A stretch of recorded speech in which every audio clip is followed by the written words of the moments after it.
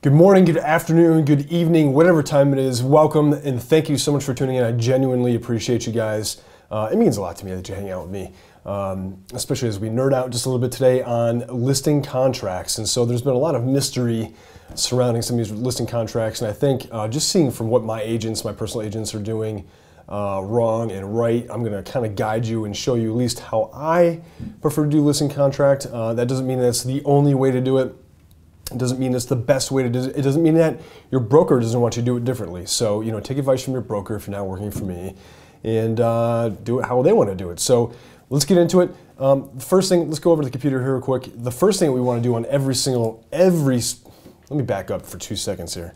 Doesn't matter what kind of contract we're going to do. It doesn't matter if it's a listing contract, doesn't matter if it's a uh, rental contract, rental listing, uh, residential purchase, commercial purchase, any kind of transaction in the state of Arizona, you have to do an agency election on this thing. There's, there's no other way around it. So the very first thing we're going to do is actually um, this agency disclosure and election. What you want to do here, put your firm name, and for our sake, we're going to put Kenneth James Realty, and then you want to put your name in here too, as far as uh, you know who you are. Listing contracts. What you want to do is there's a couple different options here in the bottom. What you want to do is represent seller as seller's broker this line on number 42 here, just a real quick heads up, allows you to do dual agency. Some brokerages allow that, some brokerages actually discourage that. I can see how they would discourage that. There are a lot of um, conflicts that can come about from an agency relationship like that. And so, just a heads up, whatever your broker wants you to do, do that. And then you want to say the undersigned sellers acknowledge that the uh, receipt of this instrument here. And what you want to do is put the seller's first name. So we're going to say Sam Seller um, and then have them sign on this line here. Ooh, look at that, we got a semi-seller in there. And then let's get into the actual listing contract itself. So the first thing we want to do is kind of look at how this thing is vested and make sure that we're gonna, you know, fill it out with the right information. And so the property owner here is Conlin Properties LLC and then make sure that the property address lines up. We have had situations in Monsoon that show um, a different property address with a different APN. You got to make sure that you're talking to the right person. What's really interesting is that it's like 99.999% accurate.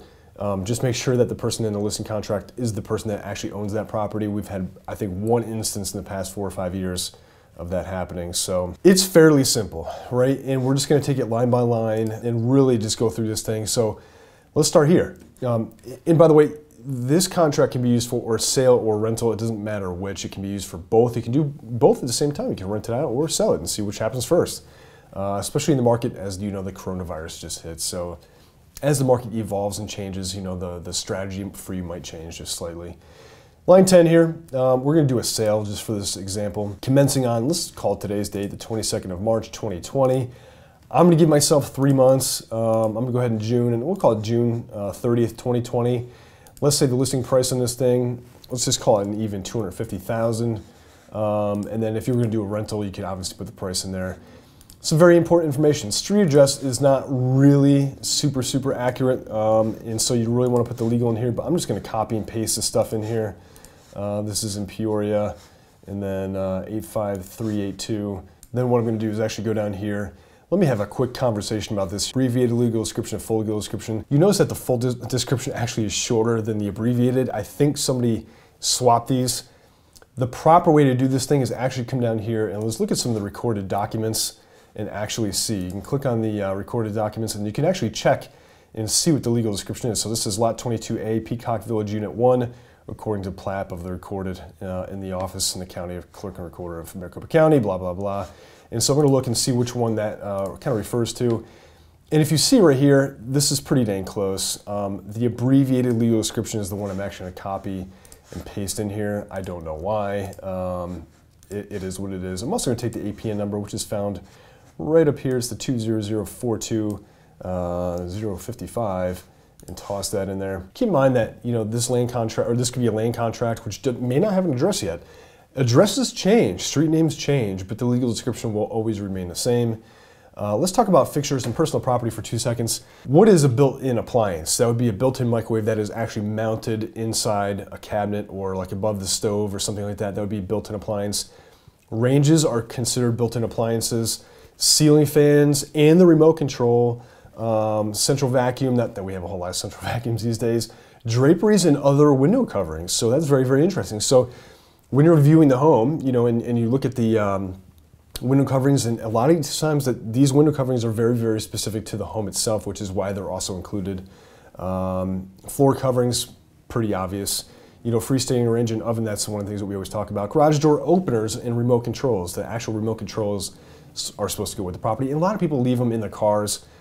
Just call the, the listing agent if you're on the buy side of this. Call the listing agent and make sure that you know they leave it on the countertop. If you are the listing agent, throw all the keys, extra keys, gate codes, um, pool keys, mailbox keys, put them all on the counter, lay it out really nicely, and, and uh, set your buyers up. Light fixtures. We actually had a, a lawsuit where um, we were representing a buyer and um, the seller took a huge chandelier. The chandelier was like an $8,000 chandelier. It was right in the entranceway when you came in. And it was on a moving truck on the way to California. And they're like, hey, we're not going to bring it back. And my buyers actually had to do um, find a legal remedy for that. And uh, so just be aware that all the light fixtures, all of them, wall sconces, um, you know, dining room chandeliers and stuff like that, those are part of the actual home. Those are fixed, fixed they're fixtures. Mailboxes, um, obvious, and uh, satellite dishes, guys. So outdoor fountains, very common. Those things go missing. Outdoor potted plants and stuff like that. Landscaping, shutters and awnings. You know that's obviously very affixed.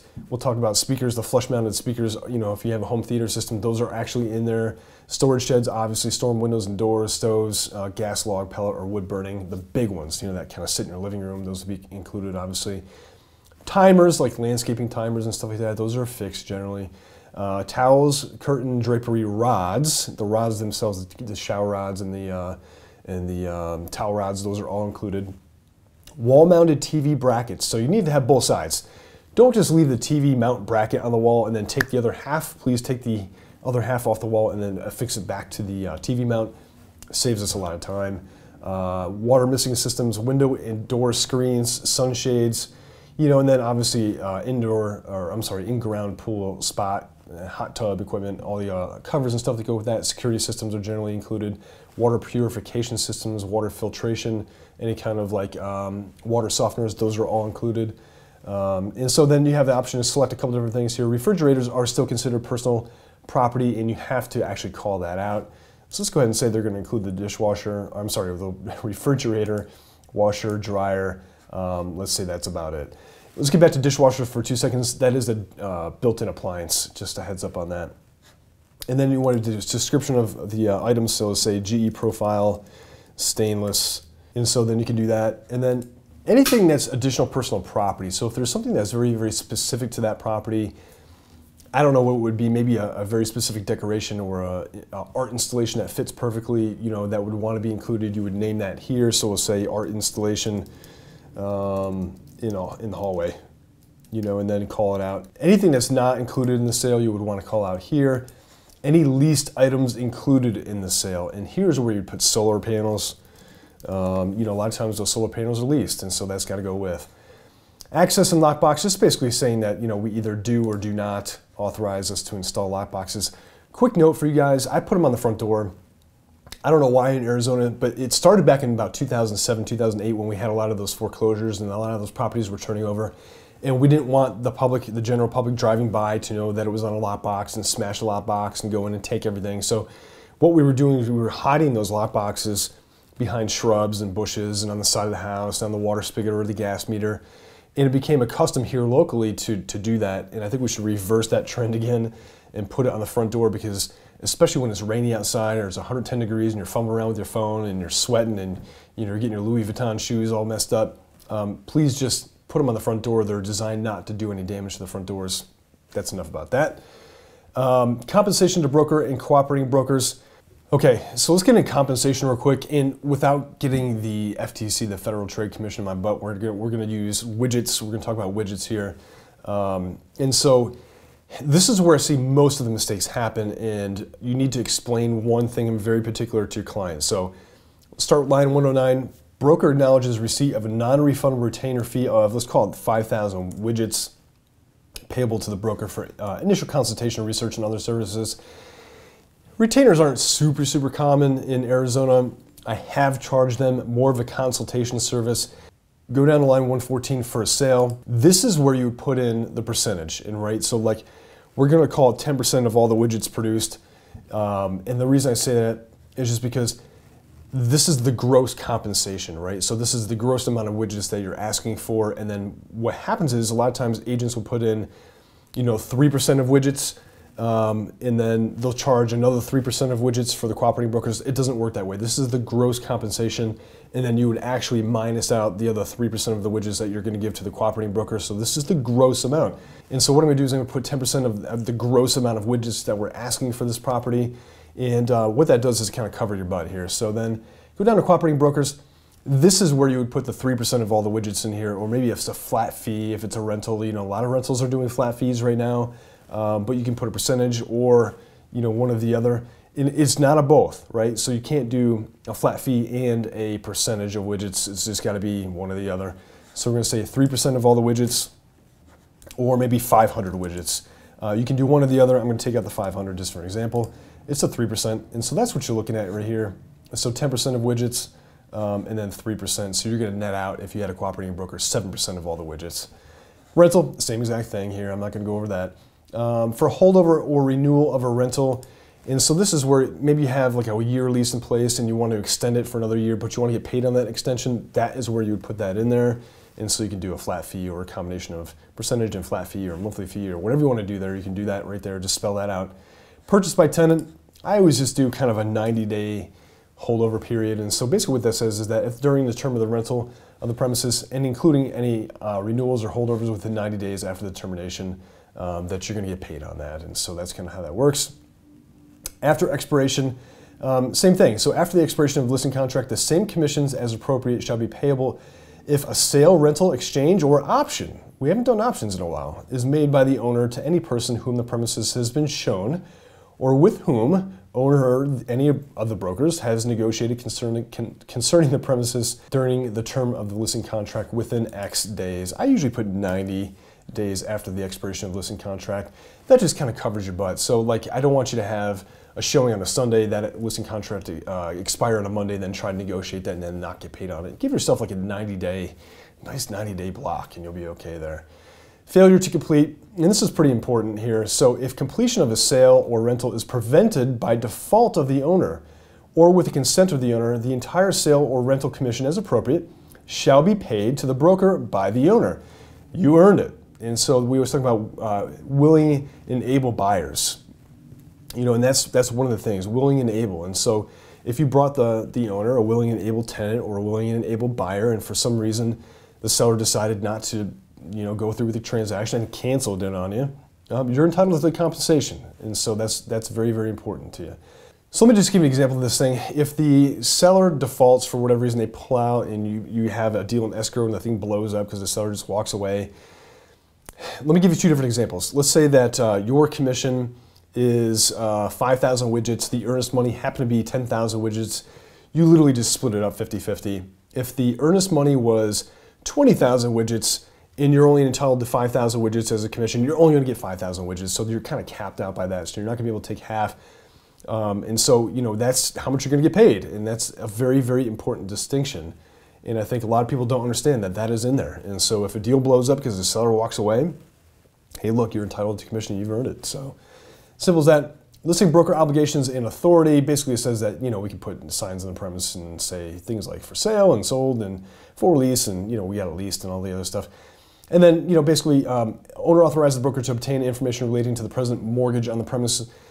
One just quick note, just from experience, because I've been doing this for almost 20 years now please take a look at the mortgage balance, make sure that there's enough equity in there to get you paid, to get the property sold and get the buyer's agents paid. Um, we have had situations where there wasn't enough equity and I should have done my due diligence and guess who got a haircut, commission, commissionectomy. So uh, just be aware of that.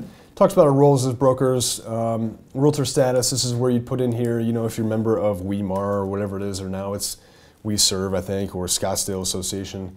If you weren't a member of the real estate board, you just click that box right there. Uh, talks about FIRPTA and what the uh, consequences of FIRPTA would be.